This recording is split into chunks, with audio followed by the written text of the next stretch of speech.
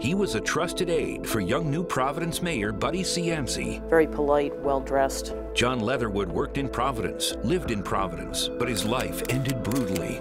Had been stabbed multiple times. In a Pawtucket park. This was definitely not a robbery. It seemed like it was very personal.